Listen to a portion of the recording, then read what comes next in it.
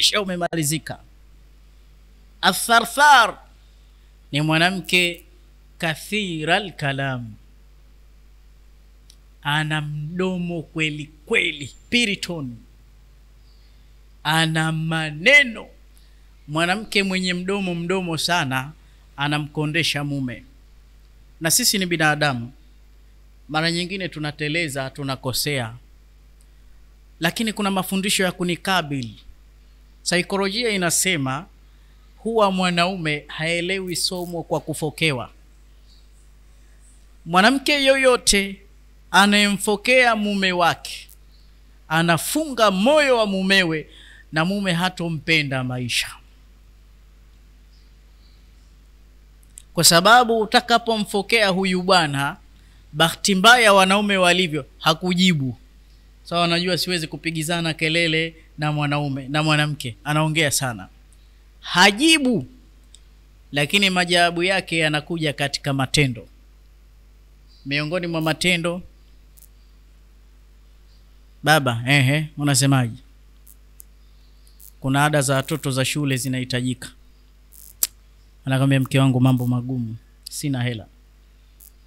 Si kwamba hanazo ziko. Ndo majibu hayo. Na hakuambii ulinifokea tayari ushaweka kitu katika nafsi yake mume wangu kuna sare ya kina mama inahitajika kwa ajili ya huko chuo. Ambia sina. Usiende.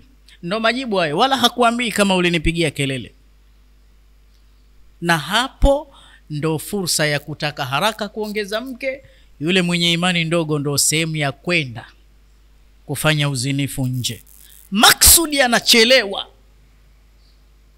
Manake wanawake wanawake kwa siku itakiwa waongee sana apate mtu wa kumwongelesha sana na kumsikiliza. Yaani ndo usalama wa afya yake mwanamke. Kwa hiyo anahitaji muda. Hicho ndo chanzo cha mwanamke kunyimwa muda na mume wake kwa sababu anaongea maneno mabaya kwa mume wake. Kwa hiyo utamkuta mwanaume atafuta pahala kama ni kwenye kahawa anakaa.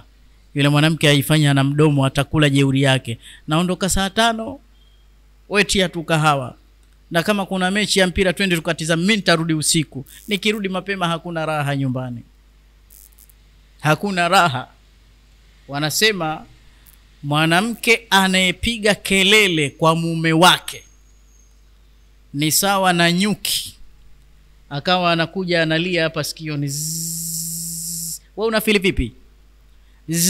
Unataka ufanye hivi. Anakupa usumbufu mkubwa na mwanamke mwenye mdomo si mzuri anakuwa kama hivyo na hii ndoa lazima ataivunja. Kwa hiyo yoyote alokuwa tharthara anafunga moyo wa mumewe mume hawezi kumpenda. Mwanaume haelewi somo kwa kufokewa na wanatufokea wanawake. Dai haki yako lakini unadai vipi haki yako? Kuwa mstaarabu sasa huyu anaitwa tharthara. Mwanamke wa pili anaitwa ashaddaqa. Ashaddaq hiya almar'ati allati tatawala alkalam. Mwanamke shaddaq anafanana na yule tharthar lakini huyu kazidi. Tatatwawal anadandia maneno. Yani shoti ni mwanamke mbea. Na haya ni maradhi makubwa sana kwa wanawake. Wenyewe wanasema mwanamke umbea nini? Ni faradhi kusutwa sunna. Sijui maneno gani ya kikorofi namna kama hii. Mwanamke umbea lazima kusutwa sunna. Anafanya hivi? Kusutwa sunna huyu shaddaq unajua kwa nini kaitwa shaddaq? Huu mdomo huu wanawachuoni wamempiga kamera asema akizungumza pia anaukunja anakunyali.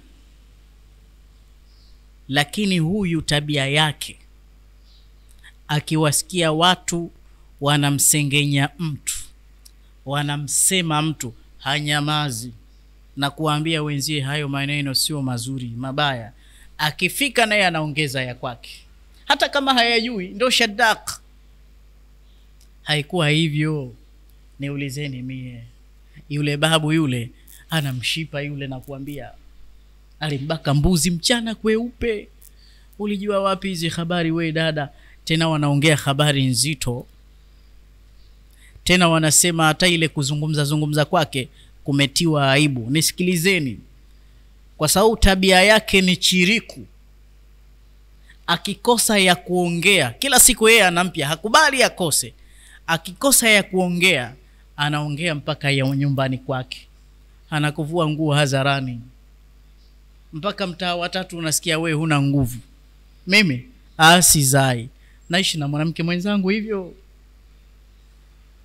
Mara nyingine uko vizuri anakaa anaanza kusimulia wenzi wake mashoga zake. Huyo anaambukiza uovu. Mume wangu bwana akinikamata hivi hivi usimuone pamoja na uzee ule ana vitu vituko yule. Sasa unawahadithia mabinti pengine hata hawajaolewa nao wanamtaka mume. Uovu unaanza kwenda. Wanaanza kutafutana. Haya ni makosa makubwa sana na huyu ni mshari wa watu siku ya kiama sababu anayetoa siri ya ndani kupeleka nje analaaniwa. Mwanamke shaddaq, na haya ni madhara ya ulimi. Mambo ya ndani hayaongelewi. Ficha siri ya ndani yawe mazuri yawe mabaya uwe mstahamilivu. Hembu niambie Muislamu, ukimpata huyu mwanamke shaddaq, haja kugombanisha bado huyu? Watu wanapata tabu kila siku suluhu nyumba za kupanga kashatupia maneno huku kashasema huku. Mpaka mtu anamwogopa mkewe. Mke akimwaga ba fulani naenda kwa fulani. Anasimama mke wangu najua unaenda kuyachokoza huko. Unaenda kusengenya wewe. Na muda mchache mara ataka kupigwa hanyamazi. Haya akiwa ni mkeo bado hujaishi motoni. Mwanamke namba tatu anaitwa annana alannana kathiratu lanin annana ni mwanamke ambaye haishi kutoa udhuru na kusema anajisikia vibaya kwa mumewe. Na huu ni uvivu. Mwanamke annana si mwanamke mzuri. Ukimtaka kitu tu yeye naumwa mimi najisikia mi kadha yaani anapenda kusema yeye anaumwa. Na sheria inasema huruhusii kumuoa mwanamke ila awe na sifa zifuatazo. Sifa ya mwanzo awe tayari kujifunza na kubadilika. Mke unayemuoa hakikisha unamuoa binti ambaye yupo tayari kujifunza na kubadilika. Jambo la pili yuko tayari kutwii na kuheshimu wazazi wako. Jambo la tatu wasomi wanatuambia umoe mwanamke ambaye anajua kazi za mikono yake. Kama hajui kazi za mikono yake hata usafi wa mwili wake utamshinda na hilo ni tatizo kubwa sana. Lazima mwanamke awe mtundu awe sharp. Akiingia jikoni sekunde tukishamaliza awe anajua kufanya vitu kama hivi. Lakini mwanamke anana ni mtihani mkubwa uloje mwanamke anana. Ndio maana tukapewa zile instruction za kumtafuta mchumba kabla hujaoa. Tatizo tuna haraka. Lakini nikwambieni uchumba wa islamu uchumba lazima uwe na distance. Uchumba inatakiwa uwe na muda msiwe na haraka. Nyie mkisikia mambo matatu yasiocheleweshwa mwanamke akipata mchumba afaye baada ya kuona amefaa ndo fanyeni haraka msicheleweshe. Lakini lazima mchunguzane jamanini kuna mambo kibao. Jambo la mwanzo kumchunguza mtu. Kwanza usimuoe mtu ambaye wewe unamfahamu tu lakini humjui undani wake na wengi tumewana kwa kufahamiana fahamiana tu. Wanamjua dada fulani anapitaga uh, wewe unaokota tu. Kuna tofauti ya kumfahamu mtu na kumjua. Ijue historia yake ya kimahusiano kabla yako. Unaoa hawara ya fulani unamkutana na maradhi kibao. Unaoa mke wa mtu kumbe hajaachika mwanamke unayemuoa hakikisha mwanamke huyu umempenda. Usiwewe mtu ambaye hujampenda baadaye utamchukia zaidi. Hivi vitu ni vitu muhimu sana kuvifuatilia hivi. Mwanamke namba nne mbaya zaidi ni mwanamke anaitwa hanana hiya tahina kulla hin. Ukae vizuri kama huyu mke umepata ndugu yangu mwislamu kwa sababu nyumba ambayo yuko bibi huyu hiyo nyumba ina misukosuko ya hali ya juu sana. Alhanana mfano mzuri ni mwanamke ambaye zamani aliolewa lakini akaachwa au akafiwa na mume. Na wewe ndugu yangu ukasema wacha na mimi nkatabaruku ni mstiri huyu mwanamke. Umemuoa sasa umemweka ndani. Shari alokuwa nayo tahina kulla hin. Ukimshika hapa hivi anakwambia mume wangu wa zamani alikuwa akinishika huku. Ukifanya hivi ambia mwenzio alikuwa akifanya vile. Ukimpa hiki zamani mume wangu alikuwa akinipa hiki ukimpeleka shopping kuchukua nguo akaambia wewe kwa mwezi mara moja. Ama baba fulani alikuwa akimtoa kila saa tunaenda huku tunaenda huku. Mpaka mwanaume anajisikia vibaya sana. Mi kila ninachofanya fulani kafanya hivi. Mwisho mwanaume anashindwa kustahamilia. Unajua kuna baadhi ya mambo mwanaume huwa hayapendi anayachukia. Unajua mambo gani kwanza mwanaume ndo kichwa cha familia. Mwanamke kujifanya naye ataka kuwa kichwa hili kwa mwanaume haliwezekani. Linamnyongesha sana. Kuna wanawake kipaumbele. Kodi ya nyumba ataka asimamie yeye. Posa ya mtoto mpaka akubali yeye. Haya ni makosa. Ni makosa kwa mungu na kwa mumeo. Lakini jambo la pili mwanaume hataki kufananishwa na mtu mwingine hata awe na udhaifu kiasi gani. Mmeelewa sawasawa ile kumwambia tizame baba fulani anavyolea watoto wake. Hii ni sumu katika mapenzi. Na wanawake waliokosa haya anaweza akalisema tu bila kujali.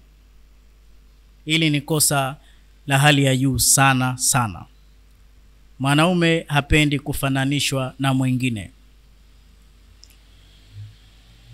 hanana ni mwanamke mbaya sana. Ama mwanamke mannana na qurani ilimtaja la tubtilu sadaqatikum bilmanni wal adha. Msiziharibu sadaka zenu kwa kuzitangaza mnazozifanya na kuzifuatishia maudhi. Wanawake maumbile yao walivyo. Inshallah kheri akufanyie kitu ukimkera tu anakitaja hii sio wema. Baba fulani wewe. Mume wangu wewe ulikuwa hata hujui kuvaa. Umekwisha kwisha kadhi leo hii unamdharau mimi hivi. Mamako nimemfanyia kadha kadha. Ndugu zako nimewafanyia kadha. Na mara nyingine akakunyang'anya kama kitu amekuvisha. Nipe ili koti vua. Nenda kama ulivyo. Ni sifa ya mwanaume kumuoa mwanamke na mali yake lakini tunaogopa atakuadhirisha. Usiharibu sadaka yako. Na mwanaume siku nyingine atakuwa anaogopa kupokea chako kutoka kwako. Kwamba ah atakuja kunisema huyu. Atakuja kunisema.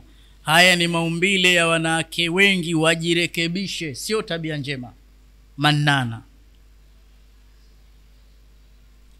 Mwanamke mwengine mbaya vile vile. Na hiyo sifa airekebishe ni mwanamke albaraka albaraq ni mwanamke ambaye na hapa nitakaa kidogo jamani eh? albaraq ni mwanamke ambaye hapendi kujipamba mbele ya mume wake mpenzi baraq anajipamba akienda harusini. Nataka nikuambieni tamaa ya mwanaume ipo katika macho. Mmenielewa jamani? Tamaa ya mwanaume iko machoni mwake. Mwenyezi mungu amemremba na kumtunuku mwanamke viungo tisini na tisa. Allah hiyo mbali ya nguo mwanamke ana viungo tisini na tisa ambavyo vyote hivi ni urembo. Vyote ni urembo.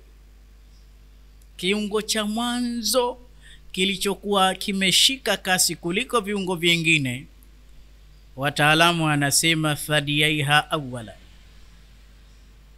ni yale machuchu ya mwanamke.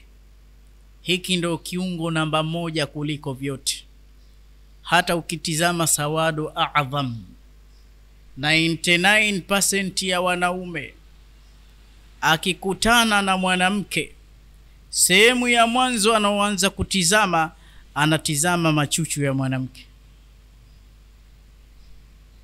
Wachache wataangalia sehemu zingine lakini hapo kwanza. Na hata kitaalamu huyo mwanaume akitizama kwa nusu saa yatihi vitaminati kuna vitamini vinazidi. Na mara nyingine akili yake pia inaongezeka. Ni kiungo muhimu sana waislamu. Ni kiungo muhimu na ndio maana kitaalamu si dhambi wala si haramu na ni afya. Mwanamke asiwe na tabia ya kumzuia mumewe zawadi hizo. Kwa sababu hata yeye mwenyewe kwake zina salama zawadi hizo mbili alizopewa allah jalla jalal. Katika zawadi zake mbili zile kuna mishipa mikubwa miwili ambayo mishipa hii inateremka mpaka huko. Kiasi ambacho mumewe akifata zawadi hizo kunatengeneza maji ambayo yale maji yatampa ulaini ambayo yale maji yatampa hamu mwanamke. Na mwanamke likulli shay'in muqaddima. Allah. Wa likulli shay'in e muqaddimatun. Maneno tahara hayo sallu ala nabii kila kitu e kina utangulizi. Umeelewa maneno hayo eh? yoyote yule mahma kana asofanya utangulizi kwa mwenza wake mwanamke sheria inamwambia amemdhulumu na siku ya kiama atamlipa. Kwa sababu yeye mama maji yake yako mbali. Yeye mwanamke ana siku zake siku nyingine si zake. Kwa hiyo akiwa yupo kwenye siku zake zake haziwi balance zinakuwa hovyo na zikishakuwa hovyo urashap switch yake ina off. Hapo anakuwa mwanamke feeling zake hazihitaji jambo hilo. Hata akiwa kipindi cha mwanzo au cha kawaida lazima mwanaume atafute sehemu kumi na sita muhajaba makhfia tumezificha sehemu hizo. Aanze nazo miongoni mwa sehemu kumi na sita ni hizi zawadi mbili lazima mtu aanze na ndio maana wamekatazwa wanawake wakijifanya usafi wao wasinawe na sabuni hizi kali za kemiko.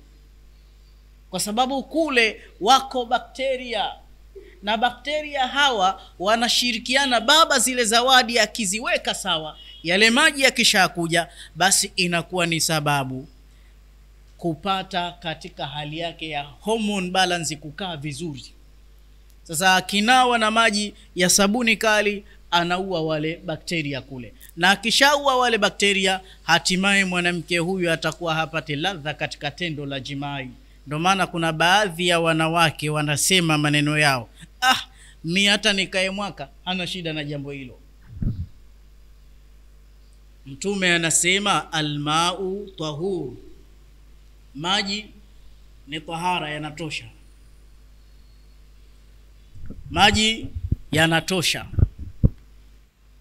Asafishe na maji adhawaizi aweke miski. Almisku aulalaha.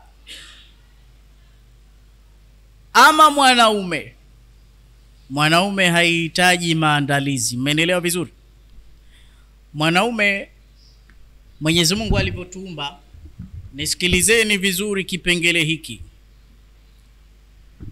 mwanaume mwenyezi mungu jalla jalal vile alivyomuumba. Kwa siku moja anawaza kukutana na mwanamke mara saba mpaka mara tano kwa siku moja. Na akiwaza ana kitu kinaitwa testosterone. Ana kitu kinaitwa testosterone mwanaume testosterone ni kitu ambacho kinaamsha hisia kwa mwanaume. Kwa hiyo testosterone anazo ishirini zaidi ya mke wake. Kwa hiyo zile zikifanya kazi mwanaume temperature yake inakuwa hai haraka sana itakia arejee kwa mke wake. Na asiporejea kwa mke wake anaweza tendo hilo akalifanya popote hawezi kustahamilia tena na ndio maana mwanamke anaweza akashangaa. Mtoto anaumwa mwanaume anahitaji tendo la ndoa. Na mwanaume hushangaa pia ikiwa mtoto anaumwa tushampa dawa ashalala we mtoto inakuhusu nini? Lakini mwanaume yeye haoni hilo. Inshallah kheri mtoto yule afe.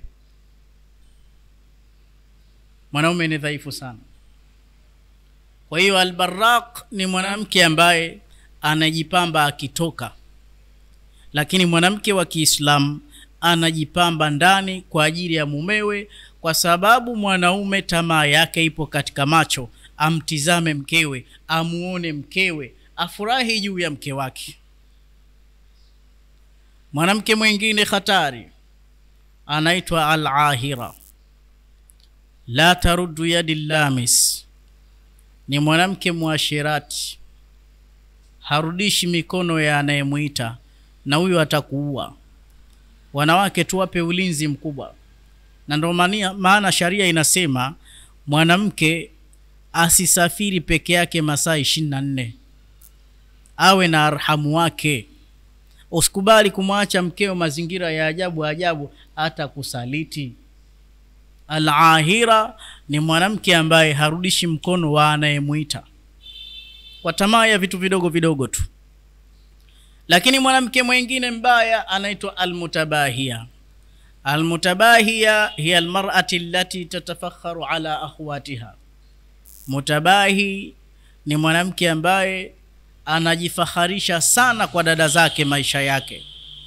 Ina maana mwanamke huyu akiona kitu kizuri anakitaka ili akaringishie. Kila siku anajiproudi yale maisha yake lakini maneno hayo pia anamkosti sana mume wake. Mara nyingine mume hana uwezo apate kuonesha tu.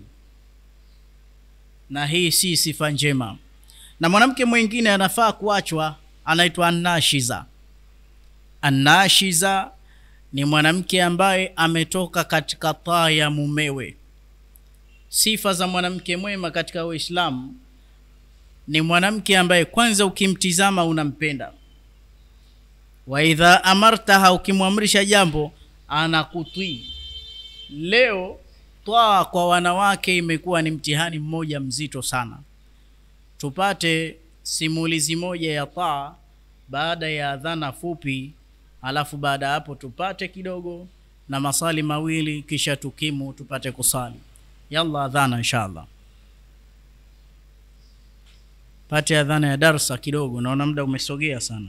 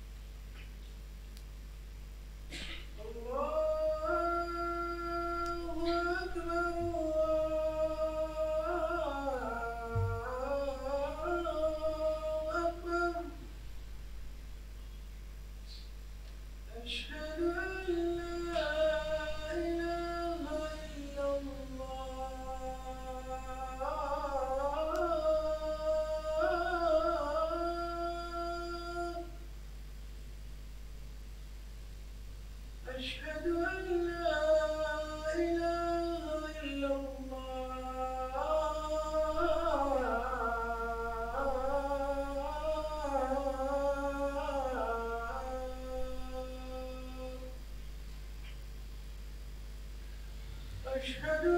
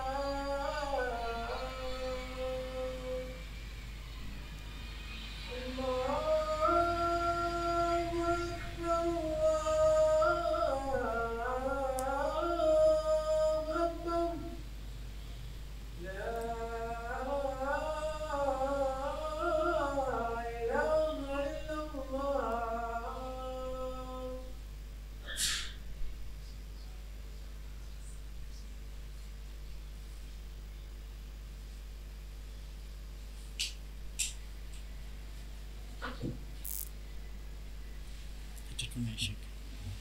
Kwa hiyo Waislamu,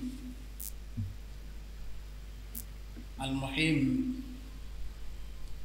toa kwa wanawake ni kitu muhimu sana. Zingatieni maneno ya mwisho ni yaseme. Mwenyezi Mungu anasema arrijalu kawamuna ala nisa الرجال قوامون على النساء wanaume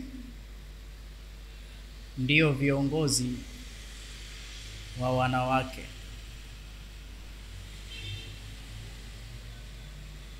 bima faddala Allahu ba'dhum ala ba'd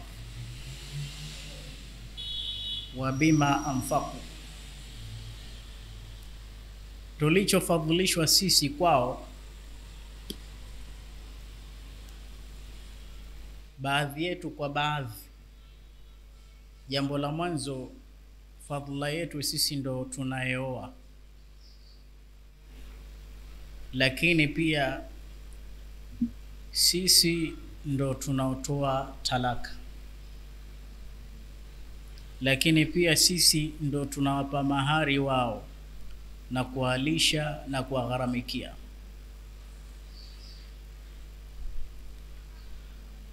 Japokuwa wanawake Allah amewapa IQ kubwa. Bwana Mtume Muhammad aliwaambia wanawake, ya ma'shara nisa, enyi wanawake, istaghfirna watasaddaqna, tumieni muda mwingi sana kumtaka msamaha Allah, tumieni muda mwingi kutoa sadaka. Wama raaitu akthara ahli nar, sikuwahi kuwaona watu wengi wa motoni. Min kunna, kama nyinyi wanawake wakahoji kwa nini tuwe watu wengi wa motoni? Bwana Mtume akasema kwa sababu mtakuwa watu wengi wa motoni, kwa sababu tukthirna llana wa tukthirna alashira, matendo ya laana wanawake mnafanya kwa wingi lakini pia hamshukuru harakati na juhudi za uume zenu. Na kilichosababisha muwe hivyo kwa sababu nyinyi la tuaddiina alfaridha. Dini yenu kwanza ni ndogo yale mambo ya faradhi hamyatekelezi kikamilifu. Mwanamke dini yake ni ndogo jamani. Kipindi hiki lazima sisi tuswaliisha. Utamkuta mkeo hayuko tahara hasali kwa hiyo wewe ukipata miaka sitini na mkeo akipata miaka sitini mkipimwa zile sala zenu utamkuta mwanamke sala zake ni pungufu saumu zake ni pungufu. Huu ndo upungufu wa dini yao lakini mtume akaongeza pia na mapungufu ya akili. Mmoja kati ya wanawake akamuuliza mtume wama nukuswani dinin wa akli upungufu wetu sisi wa akili hasa ni upi na dini? Dini mtume akawaelewesha ndo hivyo. Ama upungufu wa akili? Hapa nisikilizeni jamani. Mwanamke akili yake ni ndogo kuliko mwanaume japo kitaalamu iko kama ifuatavyo. Mwanamke ana IQ kubwa ya akili kuliko mimi na wewe. Mwanamke anaweza kufikiria jambo kwa haraka akakupa jibu chap chap kuliko mimi na wewe tunavyofikiria. Mmenielewa? Tena wataalamu wakasema mwanamke ana uwezo wa kufikiria four things to one time. Ana uwezo wa kufikiria mambo manne au kutenda mambo manne kwa wakati mmoja. Lakini mwanaume hata mawili kwa wakati mmoja yanamshinda. Unaweza ukamkuta mkeo anawasha moto anaukoleza na miguu anasukuma na miguu moto. Na wakati ule ule unamkuta mkeo anapika. Allah tena wakati ule ule mkono wake mmoja umeshika chuchu lake anamnyonyesha mtoto. Na wakati huo huo pengine amebana simu hapa anazungumza na mtu. Mambo manne. Halo niambie uko wapi? Na wala hachanganyi mada. Lakini mimi na wewe simu mbili kuongea nazo huwezi. Lakini mwanamke anaweza akawa anatizama tv huku anachati hayo allah ndo ukampa kwa hiyo ana IQ kubwa kuliko mimi na wewe. Tatizo kwenye maamuzi. Kuna kitu kinaitwa resistance chujio. Mwanamke akiamua kitu hawezi kudigest yale maamuzi yake. Hii kimungu kampa mwanaume. Mwanaume akifikiria jambo analifikiria faida zake na hata zile hasara zake. Na akitoa maamuzi ni maamuzi ambayo yana busara. Kwa hiyo mwanamke akifikiria jambo haruhusiwi kuachiwa ataharibikiwa. Bado inatakiwa awe na taa lile wazo lake lisipuuzwe lakini bado lichukuliwe na akili ya mwanaume alijadigest aangalie faida na hasara. Na ndio maana unamkuta mwanamke ni mja mzito anaomba talaka. Huyu mwenye akili ya kuchuja anafikiria huyu atapata tabu huyu. Sasa huyu mwanamke tusimpe mambo mengi. Mtume akasema afanye mambo manne miongoni mwayo amtwii mume wake kwa sababu mume ndo ana akili timilifu kuliko yeye. Kwa kufunga muhadhara wetu zama za bwana mtume muhammad kuna vijana wawili walioana wakapendana na mume akamfanyia wivu mke wake akasafiri kwenda siria kutafuta maisha. Akaambia mkewe mimi nataka usitoke katika nyumba hii. Ukitoka talaka yako. Mwenyezi mungu anapenda tuwe na wivu jamani. Walakin bighairi mutaaddida. Usivuke mpaka utaharibu. Aje baba yangu mzazi asikutoe hapa. Akaenda kule akamaliza mwezi huku nyuma ukatokea shida. Baba yake yule binti akawa anaumwa ndugu zake wakaja kumchukua akawambia siwezi kutoka. Mume wangu kaniambia nisitoke. Lakini kwa sababu baba anaumwa labda ukantakie idhni kwa bwana mtume. Mtume akikubali mi nitakuja.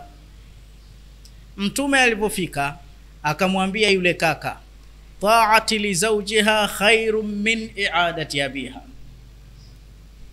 Kushika amri ya mumewe itakuwa ni bora kuliko kwenda kumwona baba yake.